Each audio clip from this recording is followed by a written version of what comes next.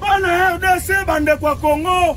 peu n'importe quel esika ozali kanga je soutien leopard je soutien leopard toyoki bilobela na ba tv toyoki bilobela na ba réseaux sociaux mais nous restons toujours des congolais yango lelo naye kofunda oyo naye kosala eza oyo babengaka kofunda tolembi makambo ya sese naza kofundana president de la république naza kofundana baministre oyo basokipaka na culture et art na sport et loisir na communication na gouverneur de la ville na biso ngobila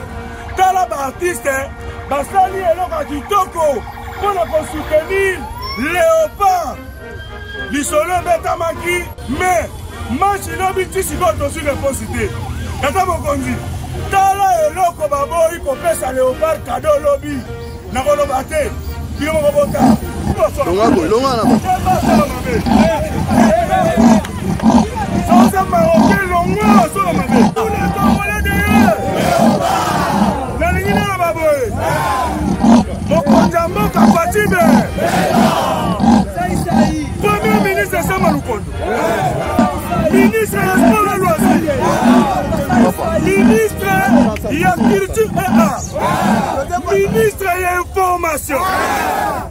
Gouverneur de la ville Ngobila.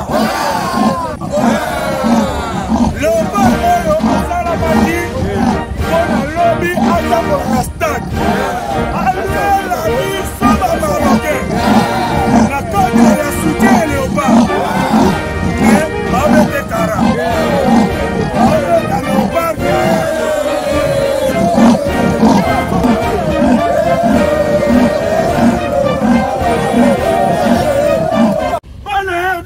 bandeko ya congo mpe nimporte quel esika ozali kanga je soutien leopard toyoki bilobela na batv toyoki bilobela na ba réseaux sociaux mais nous restons toujours des congolais yango lelo naye kofunda oyo naye kosala eza oyo babengaka kofunda tolembi makambo ya sese naza kofunda na président de la république naza kofunda na baministre oyo basokipaka na culture et art na sport et loisir na communication na gouverneur de la ville na biso ngobila tala baartiste basali eloko ya kitoko mpo na kosoutenir leopard lisolo ebetamaki mais match lobi ti sikoyo tozwi reponse te tata mokonzi tala eloko baboyi kopesa leopard kado lobi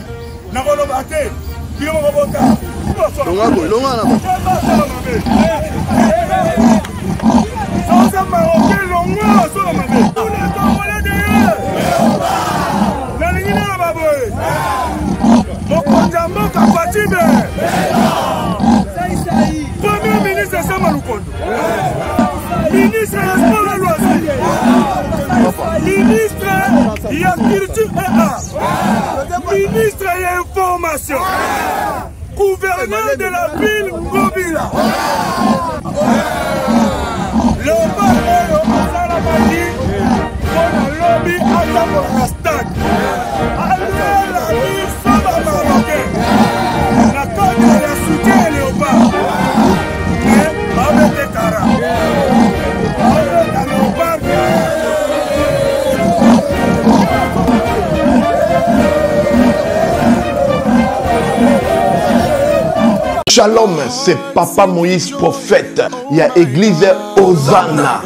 naye kopesa bino message lelo mpo na baoyo baza na bablocage balimitation bamari de nuit baesprit de mort bamaladi oyo esilaka te mais mingimingi naza na besoin ya baoyo batambola partout oyo baluka badelivrance oyo bamata kutu bavio mpo na koluka badelivrance esimba te naza na besoin na bino boya mpo bobika mpo ete ngonga na bino ekoki awa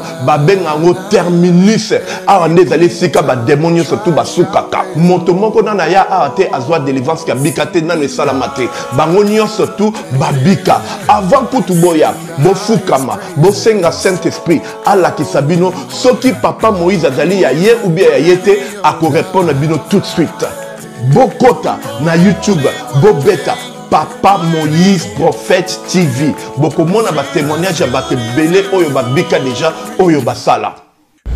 nakumisi nzambe ya ozana nakumisi nzambe ya papa moïse mpo abikisi nga na maladi ya estoma na bandaki kosouffrir mingi na estoma ezalaki soki ekangi nga nazolala te ezosala mpasi ntina mokongo moto ezobima ngai kolia madesu mpasi babilo mosusu kolia yango très difficile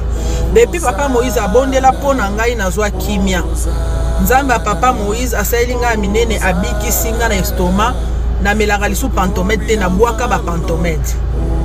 merci jésus nzambe apambola papa moïse shalom shalom shalom peuple de dieu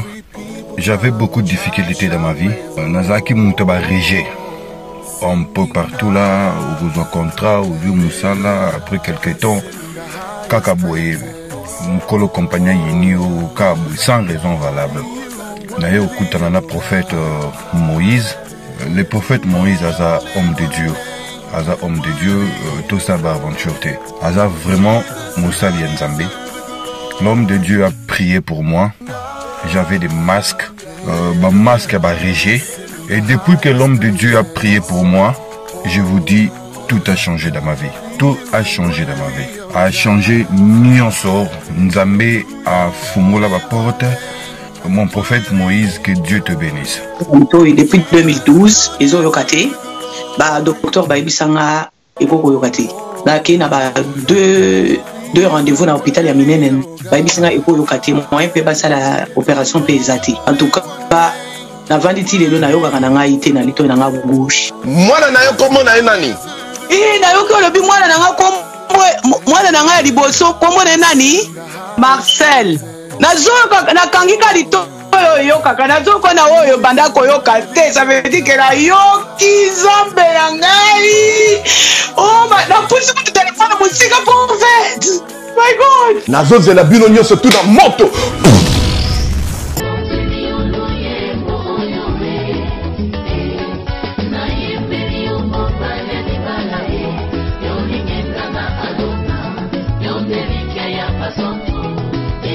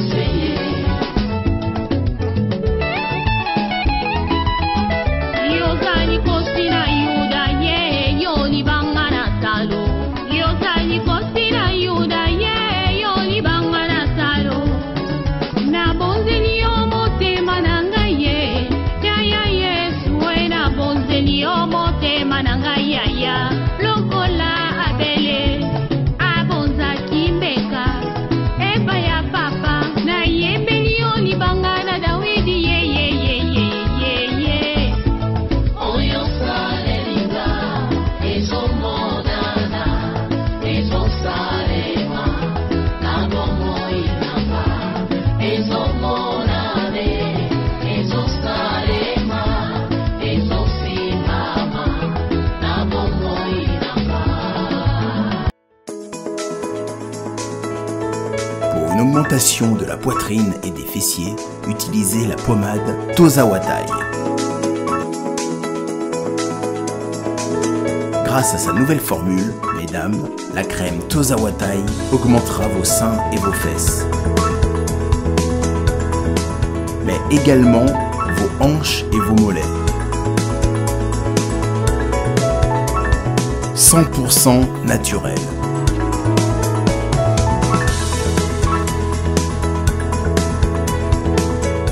pommade sera également efficace pour les hommes car elle augmentera et vous rallongera votre pénis.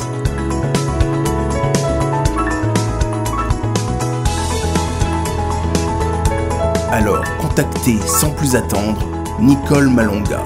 au 06 05 50 23 18. 06 05 50 23 18 et via le site internet sur www.tozawatai.com. Une pommade, tout ce qu'il y a de plus naturel.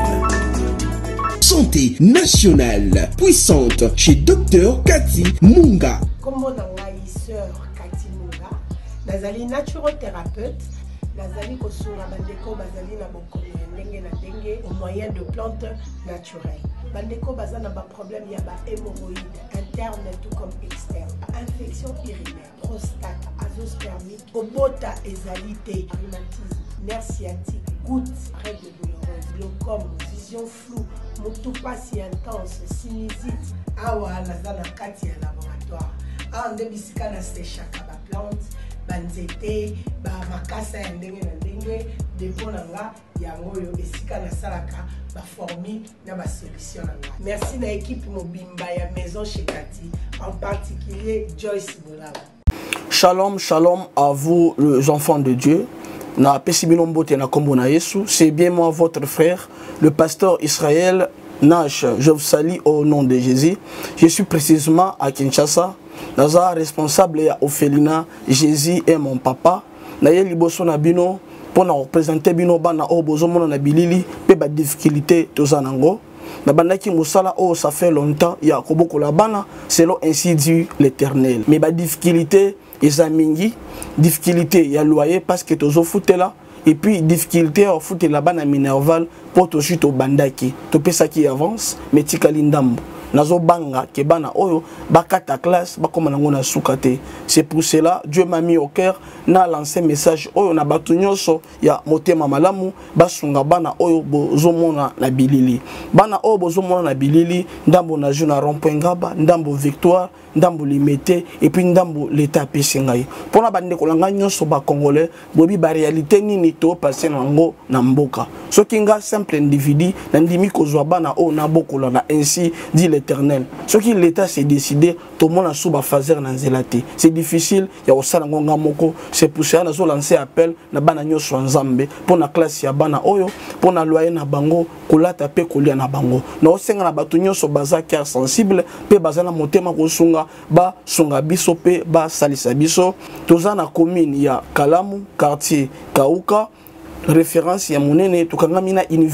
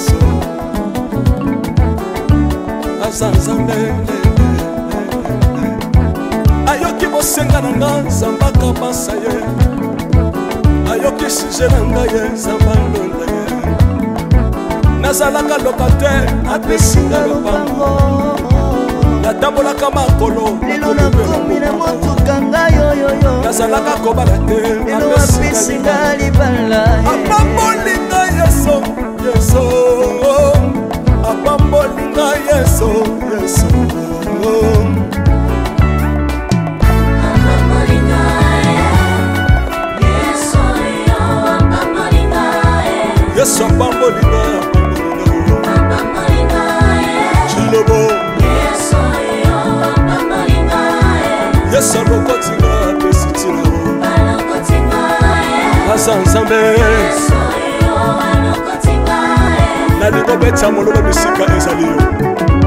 beta mololo wapi bafisi du prophète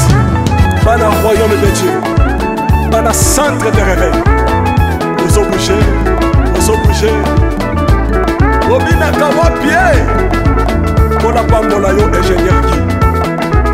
on est ensemble